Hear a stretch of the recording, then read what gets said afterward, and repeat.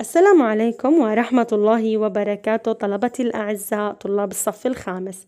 أهلا وسهلا بكم في حصة جديدة من مادتنا مادة اللغة العربية. كنا قد بدأنا في الحصة الماضية بدرس القراءة من هذه الوحدة والذي يحمل عنوان أكلت يوم أكل الثور الأبيض. أكلت يوم أكل الثور الأبيض. وكنا قد تعرفنا أن درس القراءة هذا يتحدث لنا عن قصة أسد يعيش بالقرب من ثلاثة ثيران كانت تعيش في بستان واسع بأمان وسلام.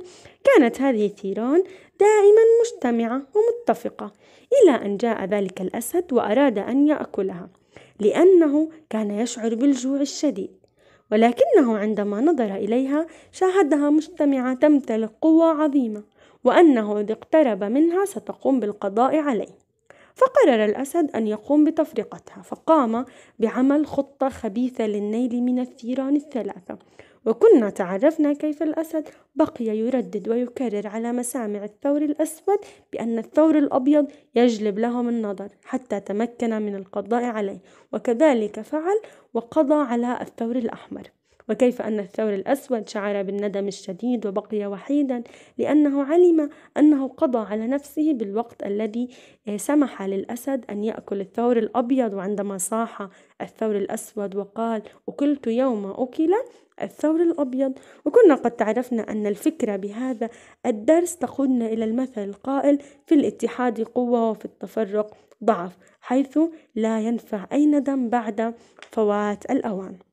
اليوم أحبائي سنقوم باستخراج القواعد الموجودة بهذا الدرس. عزيزي عليك أن تقوم بفتح الدوسية صفحة 40 40 وكتابة اليوم والتاريخ بأعلى الصفحة. صفحة 40 وكتابة اليوم والتاريخ لنقوم باستخراج القواعد أيضا الموجودة بالدوسية. هيا بنا نبدأ. أكلت يوم أكل الثور الأبيض. بالبداية الفعل أكل. عند النظر إليه نجده فعل ماضي أحسنتم لكن ما به مبني للمجهول. أحسنتم كنا قد تعرفنا أن الفعل المبني للمجهول هو الفعل الذي لن نعلم لا نعلم من الفاعل لا نعلم من الفاعل به. ويتم صوغه من الفعل الماضي بضم الأول وكسر ما قبل الآخر. فنقول أكل ضمينا الحرف الأول وكسرنا الحرف الذي قبل الآخر. وأيضا الفعل مبني مجهول لا يأخذ فاعل يأخذ نائب فاعل. إذا أكل فعل مبني للمجهول. التاء عندما تتصل بالفعل نقول عنها فاعل لكن عندها اتصلت بالفعل المبني المجهول نقول ضمير متصل مبني آه، في محل رفع نائب فاعل في محل رفع نائب فاعل. يوم ظرف أكل الثور.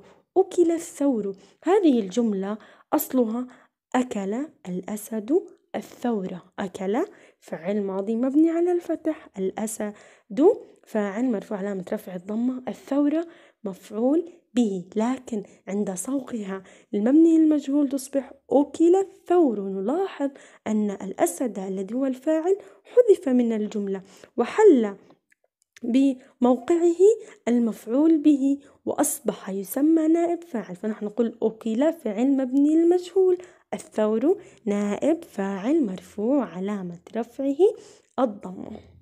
عاشت ثلاثة ثيران أبيض وأحمر وأسود في مرج واسع. ترعى وتأكل بأمان وكان يجاورها في المرعى أسد يطمع بها. ولكنه لم يكن قادرا على ذلك خشية أن تجتمع عليه فتفتك به. في هذه الفقرة أحبائي الفكرة هي في الاجتماع قوة وأيضا لا يستطيع الأسد هزيمة الثيران لأنها مجتمعة. عاشت عاش فعل ماض مبني على الفتح التاء تاء التأنيث الساكن. ثيران جمع تكسير مفردها ثور. إذا ثيران جمع تكسير مفردها ثور. أبيض وأحمر وأسود الهمزة. بهم همزة قطع. في مرجن في حرف جر. مرجن اسم مجرور وعلامة جره تنوين الكسر. ترعى وتأكل. ترعى هذه أفعال مضارعة. مرفوعة أفعال مضارعة. مرفوعة. كان فعل ماضي ناقص. يجاورها يجاور فعل مضارع. الهاء الموجودة بها عائدة على الثيران.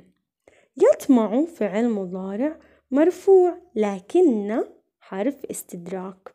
ونصب. لم يكن لم حرف جزم يكن فعل مضارع مجزوم وعلامة جزمه السكون. ذلك اسم إشارة أن تجتمع. أن حرف نصب تجتمع فعل مضارع منصوب وعلامة نصبه الفتحة لأنه سبق بأداة نصب. هيا بنا نكمل. ولأن الأسد لا يمكنه النيل منها إلا منفردة قرر أن يعمل الحيلة لينال مبتغاه. وفي أحد الأيام وجد الثورين الأسود والأحمر منفردين. في المرعى فاقترب الأسد من الثور الأسود وهمس له ناصحا بأن رفيقك الأبيض يجلب النظر وأنه متى جاء صياد إلى المكان فلن يلبث أن يهتدي إليكما بسبب لونه. كما أن خيرات المرعى تناقصت مؤخرا فلو خلصتكما منه لكفتك خيراته أنت وأخاك الأحمر. وهكذا لم يزل به حتى أثرت فيه كلماته فوافق وعندها فتك الأسد بالثور الأبيض. لا يمكنه اللاء هذه أحبائي لا أن نافية قرر فعل ماض مبني على الفتح أن يعمل أن حرف نصب يعمل فعل مضارع منصوب وعلامة نصبه الفتحة. الحيلة همزة همزة وصل. الثورين ومنفردين هذا مثنى مفرد الثورين ثور ومنفردين منفرد. اقترب فعل ماض مبني على الفتح اقترب الأسد. الأسد فاعل مرفوع علامة رفعه الضمة من الثور من حرف جر الثور اسم مجرور وعلامة جره الكسرة. همس فعل ماض مبني على الفتح. له الهاء عائدة على الثور الأسود. الهاء هذه ضمير متصل بحرف اتصلت بحرف الجر اللام. أن حرف توكيد ونصب.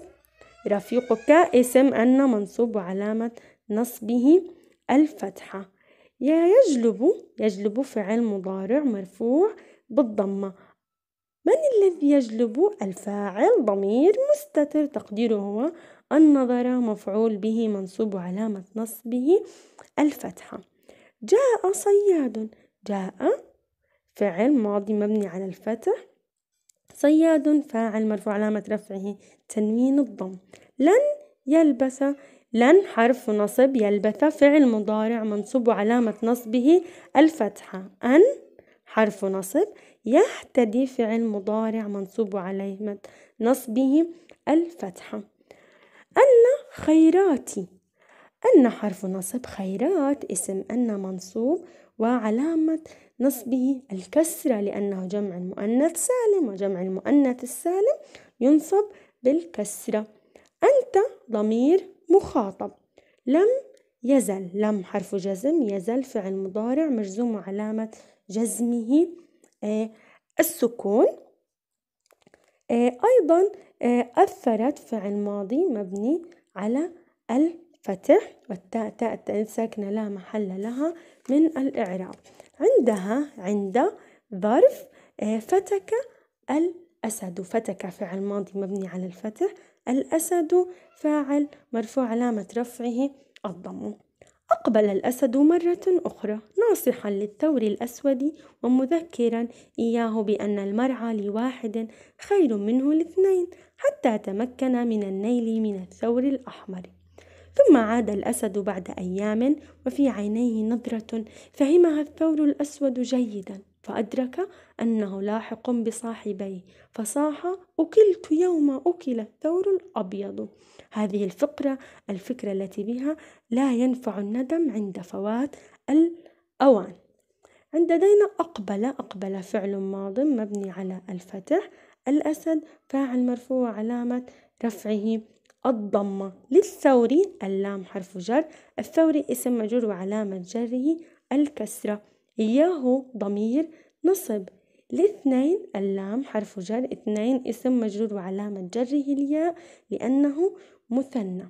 حتى حرف نصب. تمكن آه، فعل ماضي مبني على الفتح. من النيل من الثور جار ومجرور. ثم حرف عطف تفيد الترتيب مع المهلة. أي توضح لنا أن الأسد عاد بعد أيام وليس بنفس الوقت أي مع وجود مهلة بعد التي هي ظرف صاحبي مثنى. والآن أحبائي بعد الانتهاء من الاستخراج هيا بنا ننتقل إلى الدرسية صفحة أربعون. السؤال الأول يقول ما نوع الأفعال في عنوان الدرس؟ أكلت أكل كنا قد تحدثنا وقلنا أن أفعال مبنية للمجهول أفعال مبنية للمجهول. السؤال الثاني يقول استخرج ما يلي. حرف عطف يفيد الترتيب مع مهلة. كنا قد قلنا أنه ثم ثم. فعلا ماضيا عاشت أقبل جاء كل هذه أفعال ماضية. فاعلا الأسد قلنا اقترب. الأسد الأسد فاعل مرفوع علامة رفعه ضمة جاء صياد جاء. فعل ماضي صياد فاعل مرفوع علامة رفع تنوين الضم فعل مضارع منصوب يعمل يعمل. فعل مضارع منصوب علامة نصبه الفتح وهو سبق بحرف نصب. أيضا يهتدي فعل مضارع منصوب علامة نصبه الفتحة السؤال الثالث يقول أعرب ما تحته خط أكل الثور. أكل كنا قد عرفنا أنه فعل ماضي مبني للمجهول. فعل ماضي مبني للمجهول ماذا يأخذ؟ أحسنتم. إذا الثور نائب فاعل مرفوع علامة رفعه الضمة. إلى هنا أحبائي وصلنا إلى نهاية درسنا لهذا اليوم. شكرا لكم على حسن الاستماع وإلى اللقاء.